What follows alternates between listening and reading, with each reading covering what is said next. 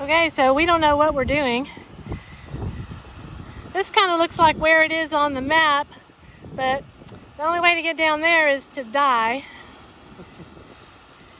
So I'm thinking we're gonna look here and go on and hope for a more easily accessible crevice.